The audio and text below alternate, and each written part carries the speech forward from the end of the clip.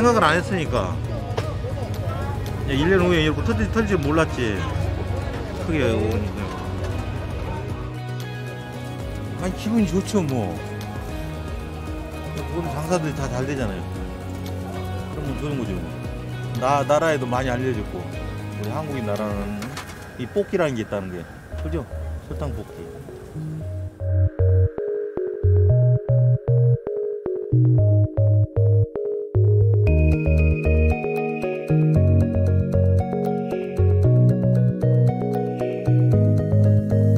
그럼요. 만들어서도 많이 먹어봤는데 어, 이제 안 만든 지 좀 오래됐었는데 오징어 게임 때문에 아무래도 네, 먹어보고 싶어가지고 뽑기 하고 싶은 마음이 많이 커져가지고 네.